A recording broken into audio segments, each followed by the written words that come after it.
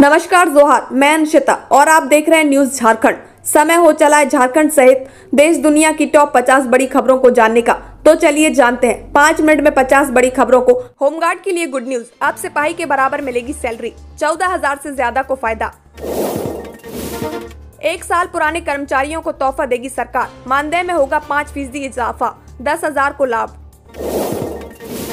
इसलिए लोगों की जरूरतों को समझेंगे चंपई सुरेन। राज्यपाल ने कर दी नए मुख्यमंत्री की तारीफ़, जेएसएससी पेपर लीक पर कर दी बड़ी बात।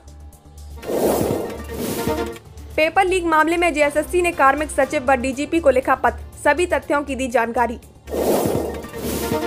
झारखंड, देवघर में पुलिस की गाड़ी से कुचलकर छात्रा की मौत, तीन घायल। हेमंत सोरेन की गिरफ्तारी मामले में ईडी को जवाब दाखिल करने का अंतिम दिन 12 फरवरी को होगी सुनवाई। ट्रांसफ़र पोस्टिंग, झारखंड में 2703 सब इंस्पेक्टर का तबादला। क्या सीएम आवास से जब्त कार धीरज साहू की है? ईडी ने जताई आशंका। देवघर में मुख्यमंत्री ग्राम ग्रामीण योजना का रूट तय, चार बसों को स्वीकृति इन इलाकों में चलेंगी बसें। देवघर, सीसीटीवी संचालक व कंप्यूटर ऑपरेटर को कैसे मिली राहुल गांधी के साथ मंदिर में प्रवेश की अनुमति? डुंगडुंग बजाकर गाँव गाँव में भ्रमण करेगा हेमंत सोरेन का संदेश रथ 11 से होगा शुभारंभ। विनोद सिंह पहुँचे ईडी दफ्तर। हेमंत सोरेन के सामने बैठकर हो सकती है पूछताछ। अंडर 19 सेफ़ फुटबॉल, बांग्लादेश को हराकर भारत बना चैंपियन। टीम में झारखंड की छह बेटियों का भी रहा जलवा। फ़ोन चोरी, पैसे की ठगी। दो दोस्त ने मिलकर खोज निकाला आरोपी और साइबर ठग। धनबाद में हुआ जमकर हंगामा। बाइक और टेंपो में टक्कर, एक घायल। रेवाड़ी में दुकानदार से लूटपाट। फॉर्च्यूनर में आए लुटेरे। बैगनार कैश और मोबाइल लूट ले गए। जीपीएस के चलते रास्ते में छोड़ी कार। करनाल में मिल मालिकों ने दो करोड़ों का धान डकारा। सीएम फ्लाइंग की रेड में खुलासा। फ़िज़िकल वेरिफिकेशन में आठ हज़ार चार सौ निन्यानवे कुंटल कम मिला स्टॉक। सूरज कुंड मेले में पाँच करोड़ का राम दरबार। छह महीने तक रामायण का अध्ययन। पेंटिंग बनाने में लग गया पाँच साल का टाइम।